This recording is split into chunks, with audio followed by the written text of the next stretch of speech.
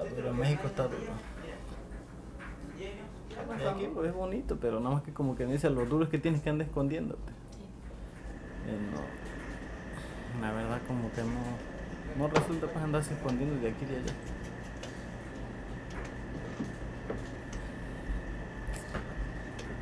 Esa gente tiene unos papeles, pues legal, pues no te hacen nada, pero salen muy caros los papeles y además no es por mucho tiempo, la mayoría creo que los que vienen son por ocho meses. La verdad, pues este pueblito son muy racistas, la verdad. Pero la verdad no nos gusta vernos aquí, pero la verdad no sé por qué.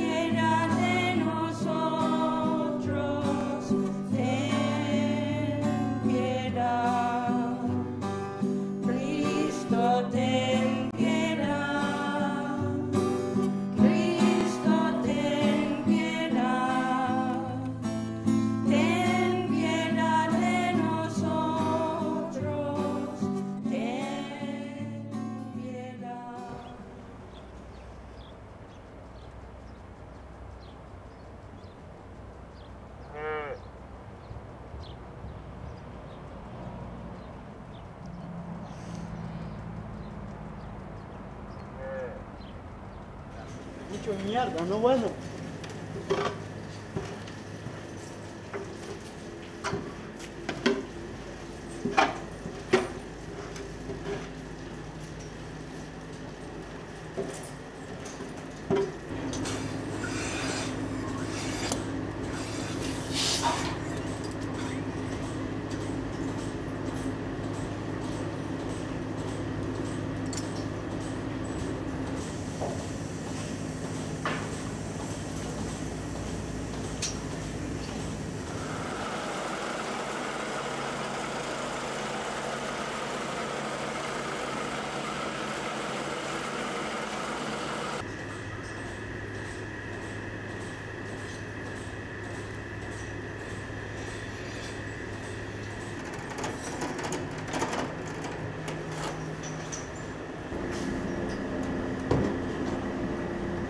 Pues yo vine porque, pues la verdad, como yo no tengo casa en México, por, pues ese fue mi propósito, venir hasta acá. Nada más que yo me vine hasta acá porque como mi papá aquí estaba, aquí está seguido, estaba como a 5 minutos.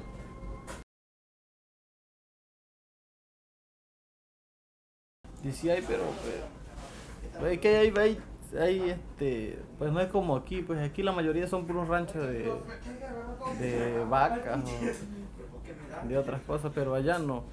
Pues las cosas son los más, pues puro, como el cacao, el maíz, todo eso que es lo que se cosecha en el año. Y sí hay trabajo, pero muy poco la verdad. Sí, lo que te pagan, pues como quien dice, no da para nada. Tienes que chambear desde las 6 de la mañana hasta mediodía y, y lo que te pagan, no, la verdad, no te alcanza para nada. Sí, la verdad, pues la mayoría por, por eso nos venimos por acá, porque aunque trabajamos un poquito más, pero sale más. aquí da lo mismo. Porque pues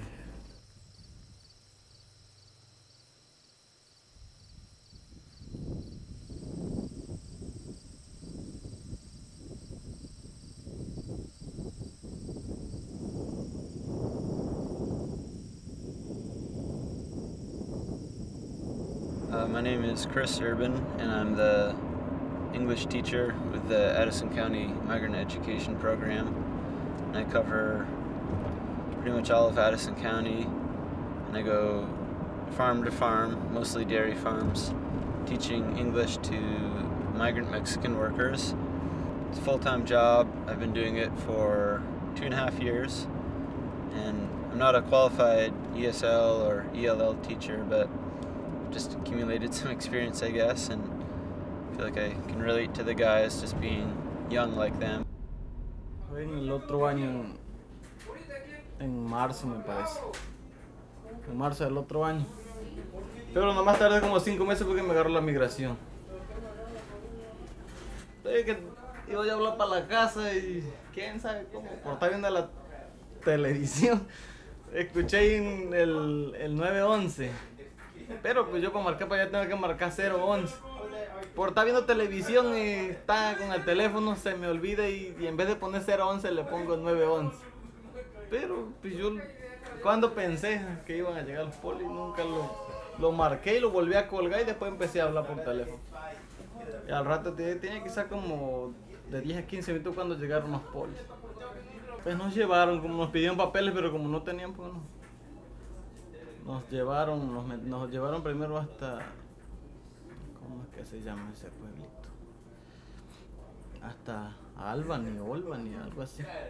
Ahí nos tardaron tres días encerrados. De ahí, después de esos tres días, nos llevaron hasta Boston. De ahí nos tardaron 15 días.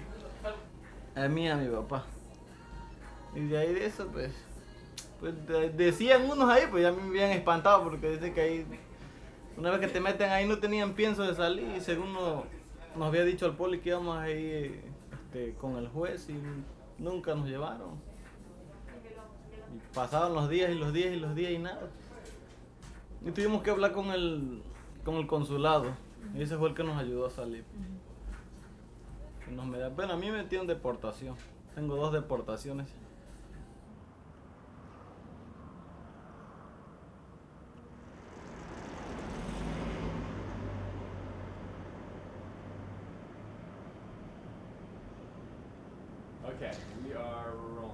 My name is Harold Giard. I am a state senator from Addison County, uh, former uh, dairy farmer in Addison County, town of Bridport, actually.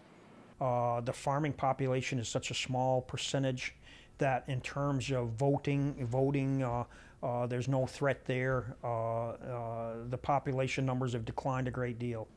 It's a tremendous amount of work.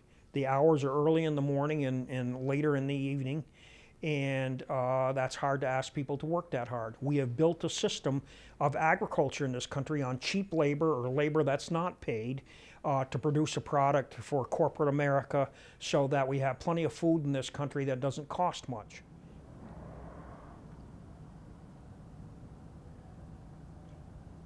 People ask us, why aren't you going and picking up immigrants? Uh, what does an immigrant look like?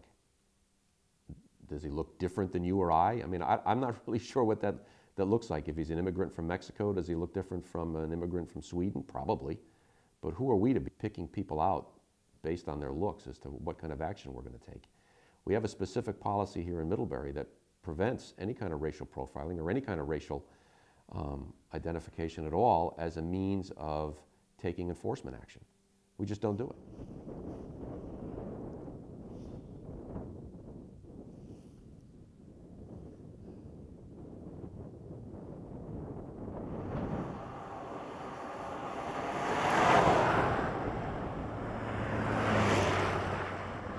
Our farms are struggling right now.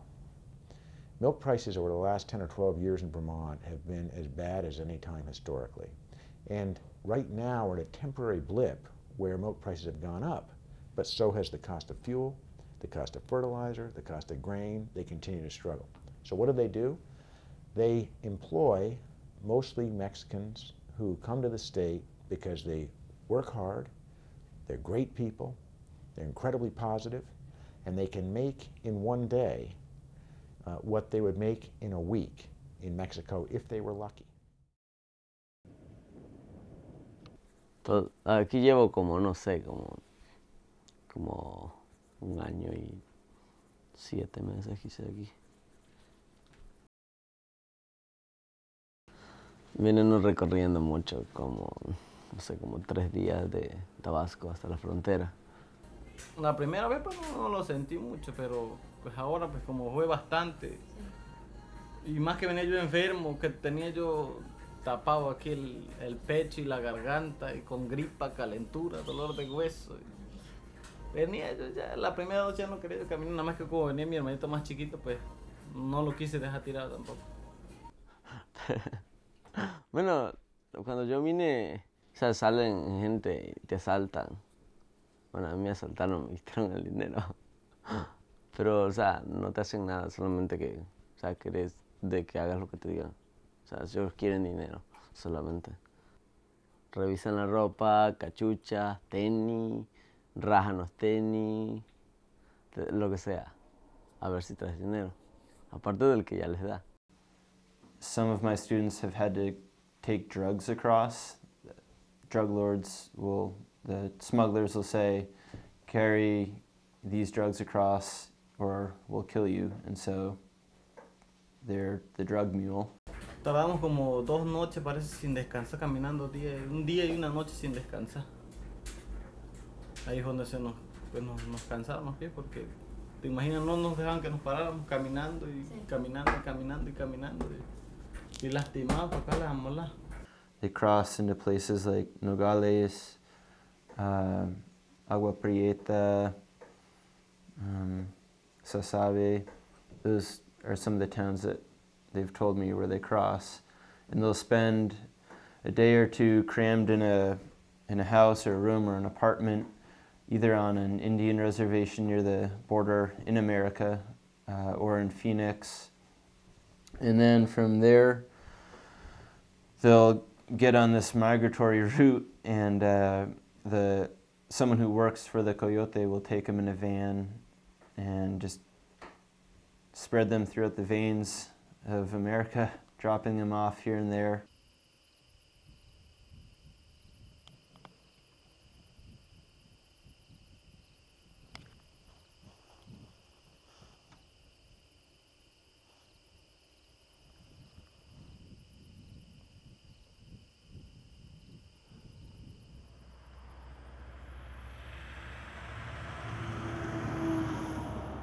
Hi, I'm Cheryl Connor, and I live in Addison County, Vermont. Um, I've been working with the migrant workers for probably about four to five years. O también si notas que, que es un quema que está en su casa. Because of word of mouth via the telephone, they found out that if you work on a farm in Vermont, you pretty much have stability. The cows have to be milked seven days a week. You usually get your house provided for you, you get your electricity, um, your telephone. And so many of them came up here. Many times they have no um, experience milking cows but they go to visit a relative, they stay there, they kind of learn what to do. And the next thing you know, somebody's calling you and saying, I've got this relative uh, of one of my workers and they're looking for a job. Are you looking for another man? And that's how it basically works in this area with migrant workers. Yo siempre veo pero los caballos que hay aquí, pero la verdad, pues ya no los he visto. ¿Quién sabe qué se hicieron? I teach 45 qualifying students on different farms, and then there are other students who don't qualify but participate with the English classes. What makes the student qualify? The student has to be 22 years old or younger, and they have to be a migrant worker involved in agriculture.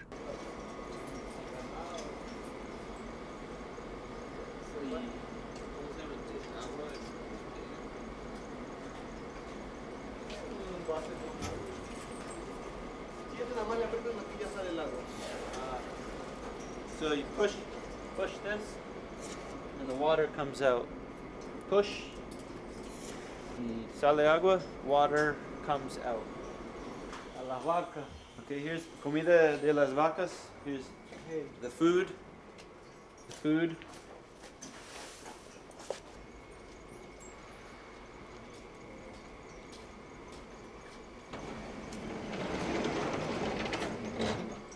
Ese es el, ¿Cómo se llama? un carro, pero quién sabe cómo se llama ese. El carro. Ah, This is the the feed wagon para alimentar las vacas. sí, aquí este es el tanque. Come on in. Estos son tanques de comida. Este es uno. Uh, es un uh, tanque de, de comida. Sí, está la comida. in English silo. The the food comes comes down. Viene. Sí. Pero Ujú. quién cómo se enciende. Ese es uno y este es el otro. Here's the other silo. Este es el otro. Silo. Son Ah. dos, dos tipos creo de comida, no sé. Two types of food. Dos dos tipos de comida. Dos tipos de comida. A lot of these people, you know, dairy farm is not seasonal work, but the nature of being a migrant worker is that you're always moving. And the majority of these guys will be up here for a year to three years. But you know, maybe the boss is not such a great person, or maybe they want to live with their brother or cousin, and so they're always moving. Does he uh, like working on the farm with the cows? Does he enjoy it at all? Is- ¿Le gusta el trabajo que hace? Pero la verdad sí, siempre me ha gustado trabajar sin lo de las vacas. Me agrada el trabajo. Estoy tranquilo aquí. He, he trabajado en otros ranchos, pero trabajé en uno, eh, no me acuerdo cómo, en Orleans creo que se llamaba. Algo así. Orleans. O, ah, no me acuerdo del nombre. ¿Dónde? En Vermont. no. Creo que sí aquí era en Vermont, pero estaba como de a cuatro horas de aquí. Ya estaba, creo que eh, faltaba casi cinco minutos rayando con, con, con Canadá. Ya estaba del otro lado allá. Se vive en el norte. Nada más que pues yo me salí de ahí porque don ese pues pues quisiera uno de esos racistas porque te, te- te hacía trabajar todo el día desde las 3 y media de la mañana hasta las 9 de la noche y no te daba chance de ya comer ni nada. Estaba duro así. Y pagaban bien, ¿o no? Según la hora me la estaba pagando como a 5 me parece, a veces en la semana antes yo 92 horas, Y aquí a veces es 95. Y a veces me, me salió una semana con 415. La tenía yo como 70, 80 caballos, limpiaba yo, los cepillaba yo, les daba yo comida, todo. Después de eso, en 3 horas lo tenía que ten- tener listo. Después de eso me yo ordeñé 1700 vacas, entre dos. Las 12 horas, desde las 7 de la mañana hasta las 7 de la tarde, sin descansar. Después de eso tenía que regresar otra vez a los caballos. A seguir teniendo los caballos. Terminaba como a las 9, 9 y media de la noche. Y todavía a esa hora llegué a comer desde las 3 de la mañana y hacer comida. Y no me gustó, se lo dije pues que la verdad no me gustó porque lo único que le pedí es que me diera permiso de aunque sea de, de una comida. Me dijo que no.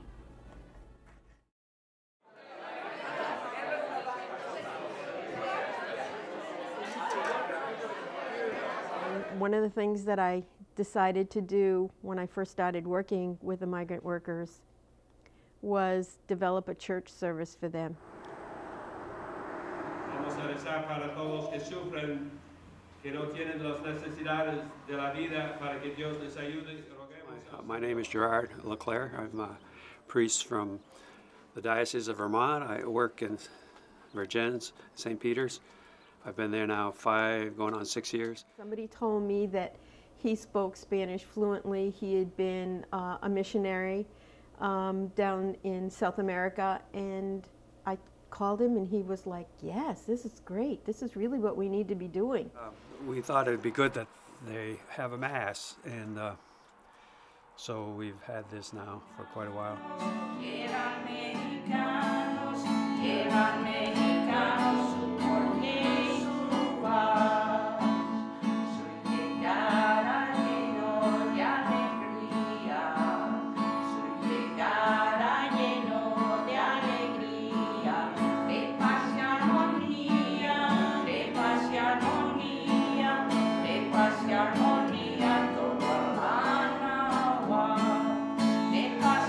I felt number one, the biggest problem they have is isolation.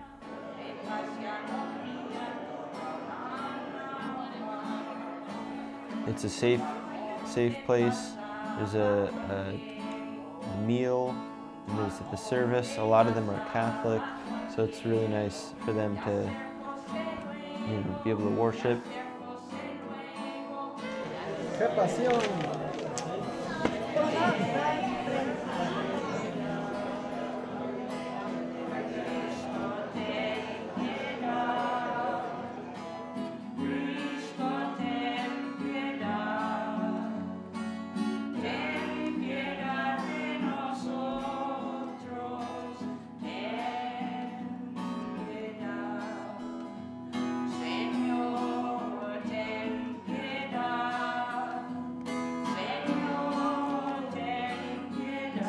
Church service, but there's uh, like a you know vaccinations and a clinic that goes along with it. There's occasionally a soccer game that follows, uh, clothing donations. So it's really uh, it's turned into a, a community center.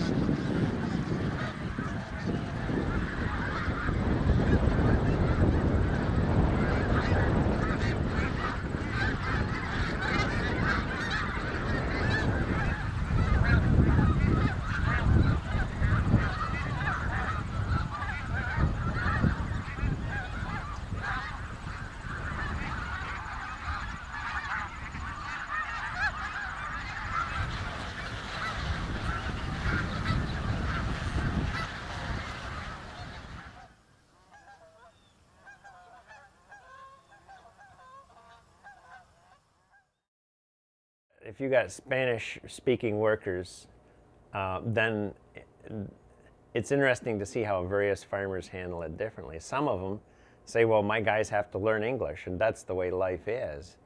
Uh, I guess we're kind of learning both. A, a veces sí, a veces sí, pero casi nunca. Bueno, ya nos acostumbramos que él habla un poquito español. Bueno, de lo que uno le va enseñando, le trata de enseñar correcto las palabras que uno le dice.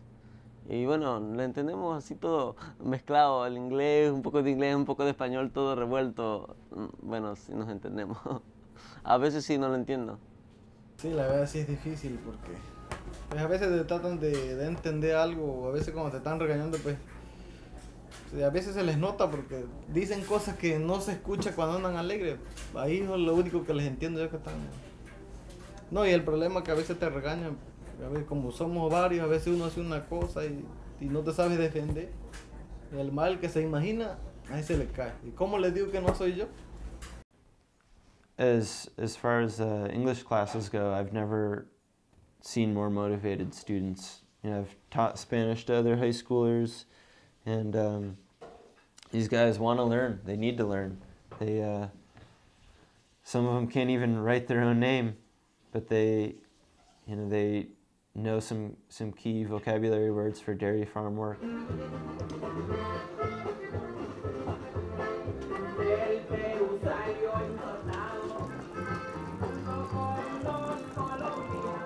All right, so number one is call, call, call up, call, call, call.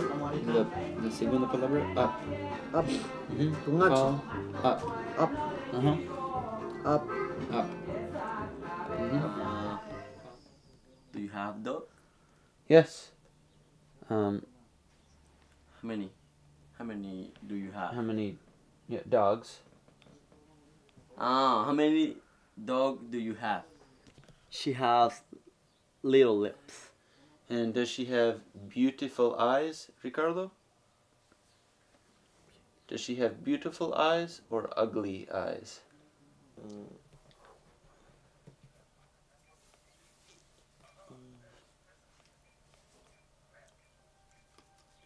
Easy. No sé, me interesa. O sea, sí, porque cualquier persona que te habla y, y te sientes mal cuando alguien te habla y no sabes qué decir, no sabes qué responder. Decir sí, decir no, quién sabe, o quién es este o quién es el otro. Eso, o sea, no, no, no te deja bien. Cualquier cosa te dicen y tú te quedas así, volteas aquí, volteas allá y no sabes qué decir. Y, y, o sea, nadie que te ayude. Y eso no... Bueno, a mí no me gusta, pues. Y yo, yo sí quiero aprender inglés. Pero, bueno, es difícil, pero... No entiendo nada, lo, lo único que me causa es risa. Como ahorita se ponen a hablar, ya no sé ni qué es lo que están diciendo, digo, no, mejor me río y me quedo contento. Con eso me quedo contento. the guy that's working for us now, uh, he uh, he would when he first came here, wasn't planning on learning English, but then when he finally figured out that we're very interested in learning Spanish, and that in order for us to be able to get good dialogue, that in the process he's going to learn English. The bosses really appreciate it. I know a number of farmers who've started taking Spanish classes and you know are trying to teach themselves and I think that shows mutual respect. The best way to understand other people is to A, have a grasp of their language, and B, have a grasp of their culture. In the process, one doesn't come without the other. Uh, we, you know, we, uh, we think that just because we're Americans and we speak English, that we shouldn't be speaking some, some other language, but maybe we ought to take a good hard look at that the fact that we are not very in touch with other cultures, especially like a Latin Latin cultures. That's true. We don't have that contact, and it makes us difficult. Uh, that gives us a difficulty because it's always hard to, to deal with uh, people that we do not understand and whose language we do not understand. I personally think we should teach certain languages like Spanish. We should be teaching that more to the kids, especially at young ages when they can really learn it quickly.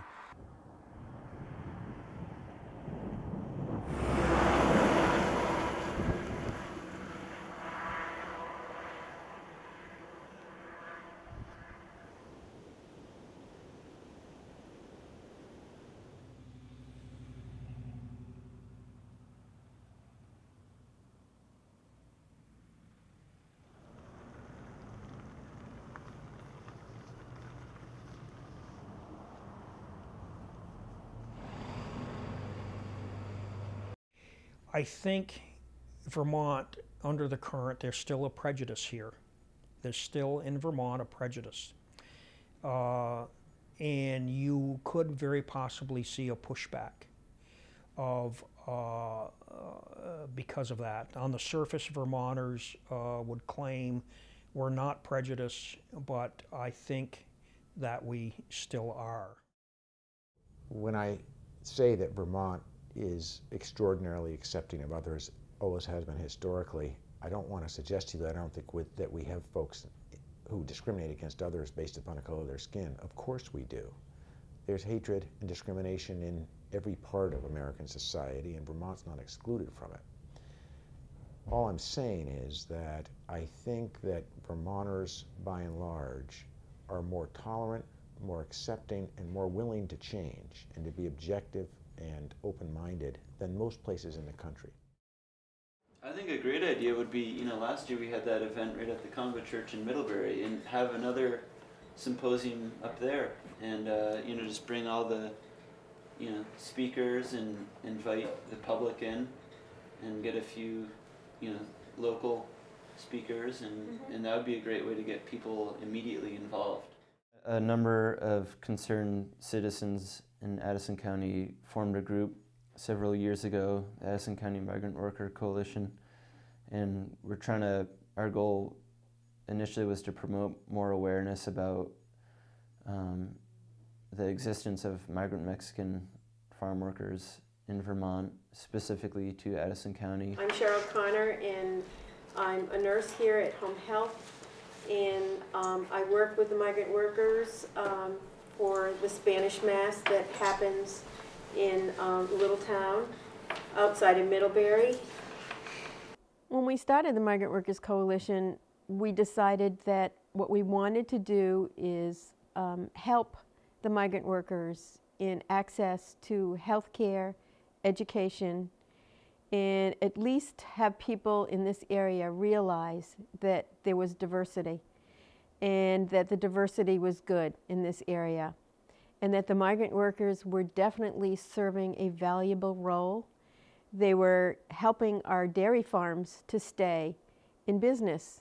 By promoting this awareness, we wanted to provide immediate services to farmers and the migrant farm workers. We identified needs of translation, transportation, health, and then secondary needs like uh, you know, visiting a friend or a family member on a nearby farm, uh, going to church.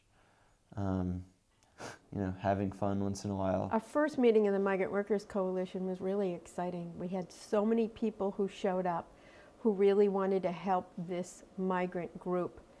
And so we decided that we would, what we would do is try to meet monthly. And we have met monthly for at least three years. So many things have come out of this Migrant Workers Coalition, and I think basically it's because of the volunteers in the group. Um, you know, it ranges from farmers to policymakers, professors, students, um, you know, obviously farmers and, and migrant workers. Just, it, it's an amazing group of people, and uh, still going strong. Uh, second thing is, you know, thanks to many people who are part of this coalition, that the Middlebury Police Department passed a hands-off policy as well as the Board of Selectmen. So now I, I think our next places to look are the police departments in Bristol and Vergennes. Cheryl Mitchell, myself, and uh, um, Susanna McCandless uh, wrote some legislation that we want the state of Vermont to at least consider. And I guess it's coming up again, and it's for um, food preparation um, people that at least they have a minimum standard of health care. Anybody involved in food preparation, which is also your migrant workers who work on dairy farms. You know, we've gotten free vaccinations, free food, free clothing. So it's, it's a necessary group of people if, if you want to make positive change.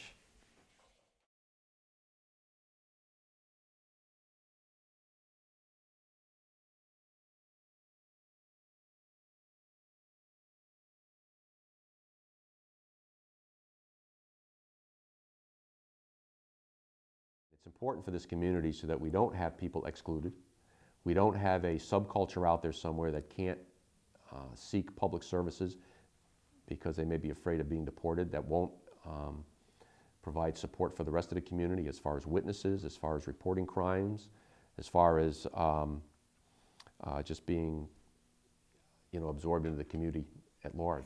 So I invited Tom here today just to be able to give us a little insight because you know they they passed the policy in Middlebury which was so so wonderful for our migrant workers and how we had talked at the last migrant workers coalition meeting about possibly contacting the Vergennes police and maybe the Shelburne police and to see if we can you know get some more positive uh, uh, enforce reinforcement on this whole policy. So Tom we wanted to just know what and you spoke to me a little bit about it because you can you give the the group a little bit about what you've been thinking it's probably difficult for me to go to another police chief in another town and tell them what we think is best for them to do.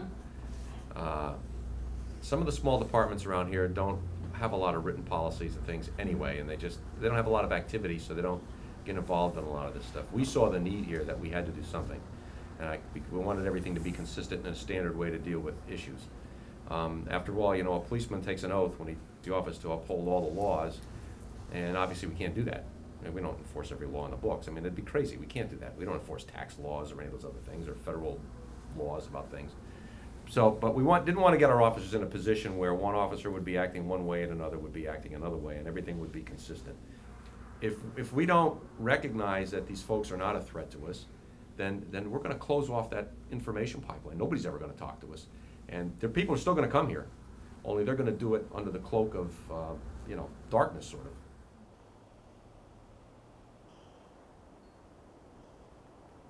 I think that is a, a real statement of on our society, um, a real stigma of our society, frankly, and it's almost a black eye that anybody working in our society um, has to be so secretive about their work for fear of being extradited, uh, for fear of being separated from their children. And I just find it very ironic that in a, in a presidential scenario where our current president talks about moral values and family values, that uh, his own law enforcement is as um, is so strict about this kind of thing that it's dividing families and it's it's very immoral. Um, I mean, I happen to think this president's pretty immoral in a lot of ways for someone who talks about moral values and family values. But this is a real direct example of it, where you know families have to work and operate and live in secret. What what is that in our society? What have we become? No sé qué piensa Bush. o sea, no, no sé por qué. Bueno, no, sé que es como todo. Hay personas malas en México también que, o sea, imagínate le das papeles a una persona mala que te puede hacer desastre en Estados Unidos. Es como todo. Por eso pienso que no quiere. Pero, pero no todas las personas son así. Bueno, pero también no, no a buscar quiénes son buenos y quiénes son los malos. Pero, no es un poco difícil. No sé por qué. Bueno, algunos vienen a trabajar, al menos como yo. Yo no vengo a trabajar, no vengo a matar ni a robar, ni a nada por el estilo. Y, y, o sea, yo pienso que lo que digan otras personas o el racismo, no, o sea, no me interesa. O sea, no me interesa lo que digan, mientras no me toquen o algo así, ¿no? O sea, no, no me interesa mucho. We are the whitest or one of the whitest states in the in the nation. And um, people are also more comfortable with what they're familiar with, and we're not familiar with. Uh, we just aren't exposed to the other races, their culture, um, their language, um, and we're not always so comfortable in getting to know them either. Uh, that's not easy for us anybody who comes here who has a different color or a different size or whatever uh, sticks out a little bit. And as I've told some people, I said maybe what we need is another 40 or 50,000 of them. Then it'd be all homogeneous. Before I started my work, I didn't even know much about the migrant worker situation. And uh, you know, I had no idea they were in Vermont. And I'm really fortunate that I've had this opportunity to get to know these people and to, to meet people who disagree with me and to learn about their perspectives. They're human beings just like all the rest of us. They eat, they talk, they laugh, they cry. They do all the same things that we do. And, uh, and you know, they just want to be able to continue doing them. You, you need to be immersed with these people and the situation to really gain a better understanding. And I still feel like I'm, I'm just barely understanding the situation. Like my trip down to Mexico was my effort to better understand who these people are, why they, why they come here. And as I go around and I lecture to different groups, I tell people migrant workers are here for two to three years and they're trying to make an income that will last them a lifetime in Mexico you, you got to realize is that our business functions on the fact that we need good, dependable labor. And it, if we don't have it, then basically we're just going to go out of business. The truth is that if Vermont fell off the chart in milk production, it wouldn't make such a huge dent that the nation would notice. It would totally change Vermont life. And our struggle as policymakers has been to work together with farmers to find ways to allow them to still survive economically because we know that Vermont's future depends on farms. I think uh, the Border Patrol, INS, is politically astute enough not to sweep in that and, and, and, and run onto every farm and start rounding up that workforce. I think their approach in the past has been to to sweep into one farm, and that sends a message and a ripple throughout the entire industry. And that's why our workers at the moment are working under the cloak of darkness.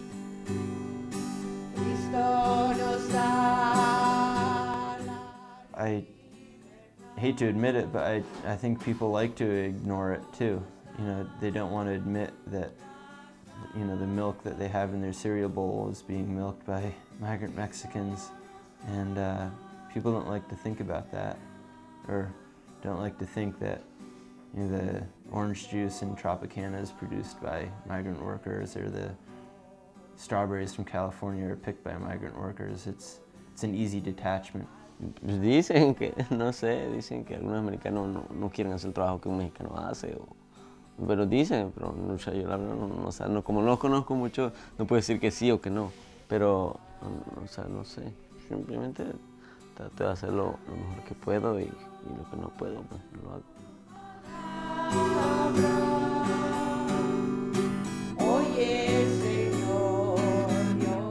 Yeah, I think it's too bad also that the Mexicans are even here. They don't want to be here, they want to be with their families. And the farmers, to be honest, I don't think they really want to hire these guys.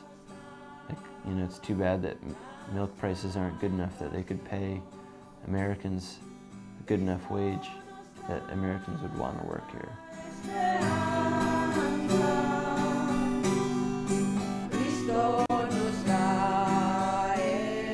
Es una que cantan unos mexicanos. La jaula de oro se llama. Como que dice es la jaula de oro, pero no deja de ser presión. Está uno, aquí tiene uno todo. Las cosas las puedes, las, como que dice, las obtienes más fácil, no te cuestan tanto. Pero estás como que dice escondiendo, te das cuenta que estás encerrado, no tiene caso, aunque sea Dios, no tiene caso. It's just so simple to me. It's like, you know, how, how you treat someone, or, uh, you know, what respect is, what, what goodness is. And, you know, it's kind of a, a black and white, a yes and no thing to me sometimes. And I, I just get frustrated when, when there's that gray area when, when to me it's so obvious. How can politicians be debating how free these people should be when, when it, they gotta be free, you know? It's, where's, why are we even debating this? It's like, you, you know, you should, you deserve freedom. You're a man, brother of humanity. I don't get it.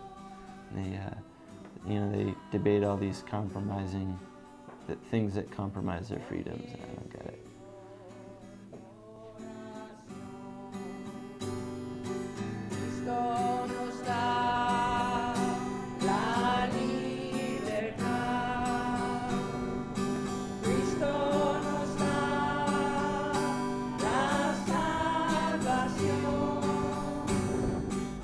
La, la, la mayoría como que dice de la gente no es así. Como que dice es como todos, hay buenos y hay malos. Hay, igual la, como que dice gente mexicana allá en México que tampoco les gusta ver los americanos allá. Como quien dice no, no hacen nada que anden, como quien dice ahí en México. pues. Como quien dice al contrario, debe de dar gusto porque lo visitan, como quien dice andan, no cualquiera, como quien dice se, se mete hasta allá. Pues yo ahorita la mayoría de, de americanos, pues... En México, pues la verdad, casi en todo México hay americanos, igual como aquí, como los mexicanos.